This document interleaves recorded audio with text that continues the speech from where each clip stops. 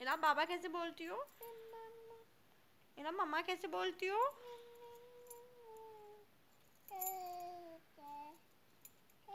इलाम बाबा कैसे बोलती हो? इलाम मम्मा कैसे बोलती हो? इलाम मम्मा कैसे बोलती हो? अस्सलाम वालेकुम टू लाइफ ऑफ़ वेल्सन कैसे हैं आप सब लोग? उम्मीद करती हूँ कि बिल्कुल ठीक ठाक होंगे। हमें मक्खन चाहिए था ब्लू बैन का भी और नेस्ले का भी तो हम वो लेने के लिए और सबस प्याज चाहिए था, लेने के लिए बाहर आए थे। और हसन ने कहा था कि मैं आज साग को तड़का लगाऊँगा और साग हमारे पास गिफ्ट आया था मुल्तान से। फेबा जी आपका शुक्रिया एक दफ़ा फिर से।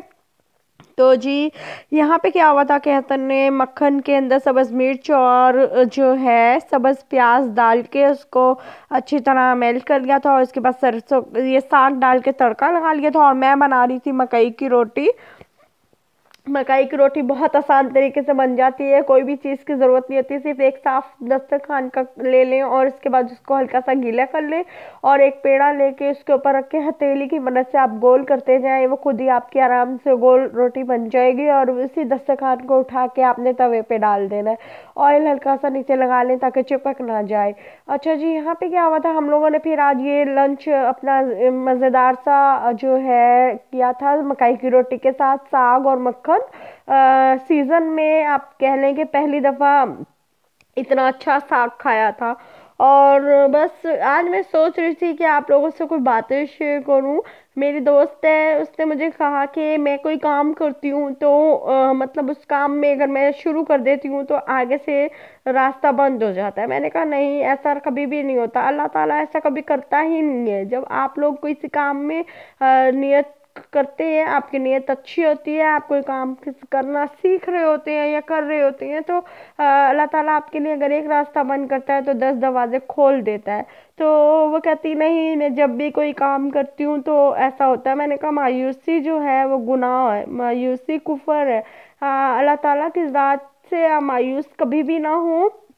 आ, मैंने उससे समझाया था तो मैंने कहा मैं आप लोगों से भी बातें कर लेती हूँ उसकी बातें थोड़ी सी शेयर करके टॉपिक एक ले रही थी मैं कि वाकई में ना ऐसा होता है हम लोग इंसान है ना तो हम लोगों को जो मिलता है ना हम उस पर नाशुक्री ही रहते हैं और ज़्यादा से ज़्यादा से तलब में रहते हैं और जब हम लोग कोई फ़ैसला करते हैं अगर आपके उस फैसले में रुकावट आ जाती है तो अल्लाह का शुक्र अदा करके दूसरा फ़ैसला कर लेना चाहिए और होता ये है कि हम लोग क्या करते हैं, एक फ़ैसला कर लिया, अगर उसमें हमारे रुकावट हो गई तो हम लोग मायूस हो जाते हैं कि हम लोग तो कभी कर ही नहीं सकते, लेकिन ऐसे आपने हिम्मत नहीं हारनी।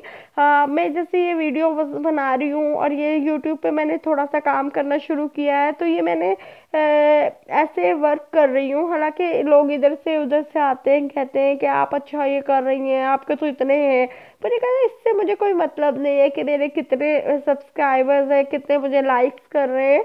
लेकिन मैं काम कर रही हूँ, मैं मेहनत कर रही हूँ। अगर अल्लाह ताला ने चाहा तो मुझे इसमें फ़ायदा हो जाएगा। तो इसलिए कोई भी काम करें, आपकी नीयत साफ़ होनी चाहिए, आपको यकीन होना चाहिए, आपको अपने अल्लाह पे यकीन होना चाहिए, उसके बाद आपको अपने आप पे यकीन होना चाहिए और आप लोग कामयाब हो जाएँगे। और बहुत सारी ऐसी चीज़ें होती हैं जो इंसान कहता है, यार, ये हम नहीं कर सकते, लेकिन अल्लाह ताला ने अगर आपके नसीब में लिखा है तो आप लोग कर लेंगे। अगर आपको हिम्मत है आपके अंदर, आप अल्लाह ताला की ज़ात पे यकीन रखते हैं तो आप लोग लाजमी कर लेंगे। अच्छा जी, यहाँ पे क्या हुआ था कि इलाहसन खेल रही थी और मैं उसे बिठाने की पूरी कोशिश कर रही थी, लेकिन वो तो बिल्कुल भी नहीं बैठ रही थी। और मैं उसे कह रही थी, बोलो मम्मा मम्मा। तो वो मम्मा मम्मा बोल रही थी, लेकिन ना पीछे शोर इतना था, इस वजह से मुझे इसकी वॉइस ख़त्म करके वॉइस ओवर करना पड़ रहा है। मेरे पास वीडियो पड़ी हुई थी तो मैंने कहा, मैं जल्दी से वॉइस ओवर कर लेती हूँ।